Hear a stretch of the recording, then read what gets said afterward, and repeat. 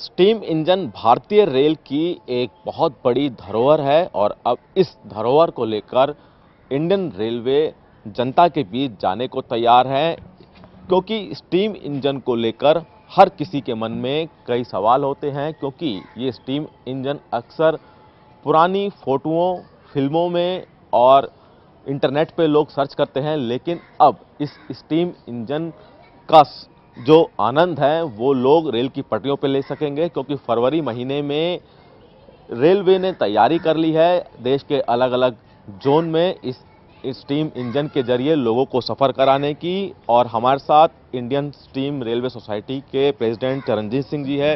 चरणजीत जी रंजीत जी, ये बताइए कि आप लोग तैयारी कर रहे हैं स्टीम इंजन को लेकर सड़क पर ले जाने के लिए। लोग ताकि इससे रूबरू हो सके इसका सफ़र का आनंद ले सकें। जी। जो रेलवे शुरू हुई थी वो स्टीम इंजन से ही शुरू हुई थी।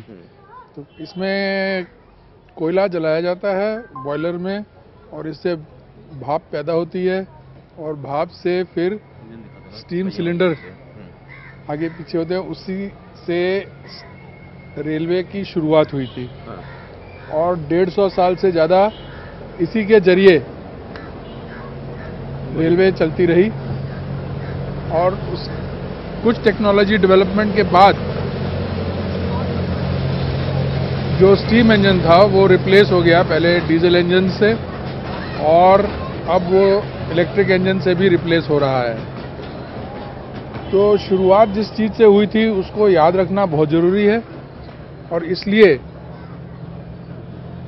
भारतीय रेल और स्टीम रेलवे सोसाइटी मिल करके ये इस टेक्नोलॉजी फरवरी को लेकर क्योंकि अलग अलग जोन में आप लोग इस स्टीम इंजन के ज़रिए सफ़र करा रहे हैं लोगों को फर इसको, इसको चालू रखने के लिए भारतीय रेल ने अलग अलग रेलवे जोन्स में स्टीम इंजन दोबारा लाइन पर लाने की हम्म, एक प्रोग्राम बनाया है शेड्यूल बनाया है।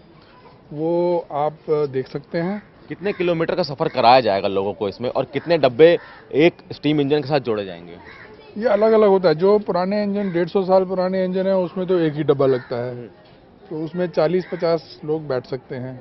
और डेढ़ घंटे के सफ़र से ज़्यादा नहीं होगा। एक डेढ़ घंटा। तो उससे लोगों को एक आनंद मिलेगा कि वो स्टीम इंजन को देख सकेंगे चलते हुए और सफ़र कर सकेंगे।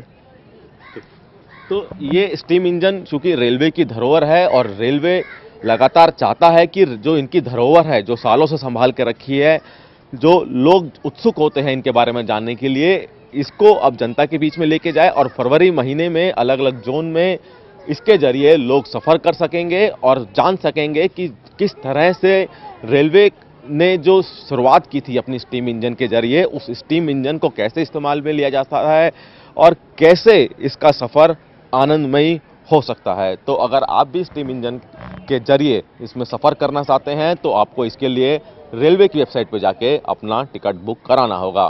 कैमरामैन विद्याधर बारिक के साथ विनय सिंह टोटल न्यूज़ दिल्ली।